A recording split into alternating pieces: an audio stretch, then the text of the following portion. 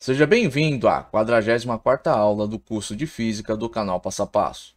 Nessa aula, eu irei resolver esse exercício que é o seguinte. Um trem de 100 metros de comprimento leva 30 segundos para atravessar um túnel de 0,5 km, ou seja, de meio quilômetro. Qual a velocidade escalar média do trem em metros por segundo?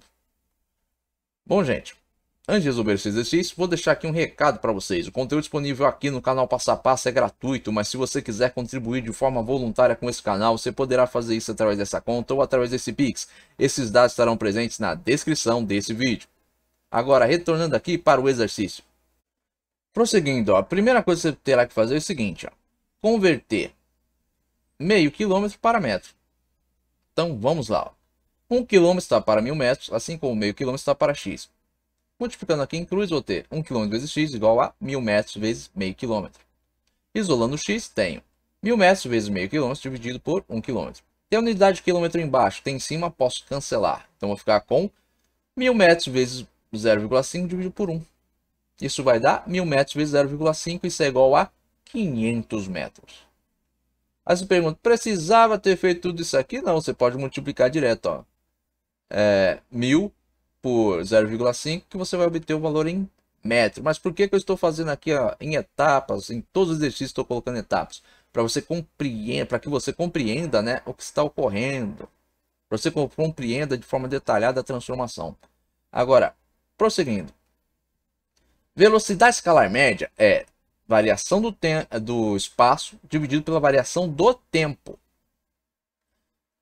No caso aqui, qual vai ser a variação do espaço? Vai ser que, os 500 metros do túnel mais os 100 metros do trem.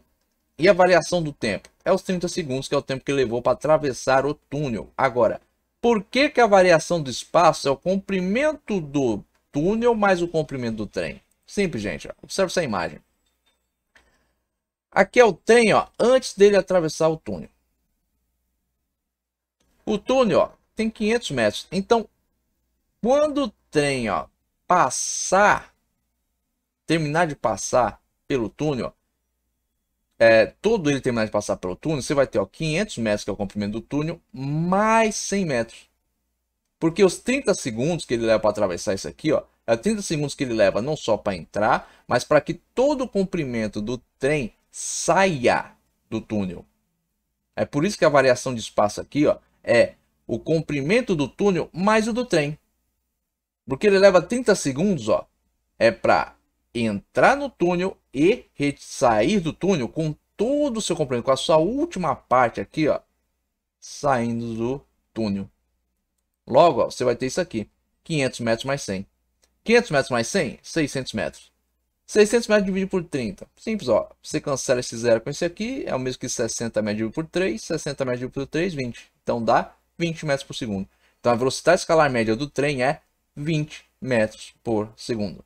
Bom, eu espero que vocês tenham compreendido aqui a resolução desse exercício, mas se ficou qualquer dúvida aí da parte de vocês, escrevam nos comentários. Agora, se você tiver gostado desse vídeo, quiser aí deixar o seu like. Se você também tiver gostado deste canal, inscreva-se. Temos tudo e até os próximos vídeos.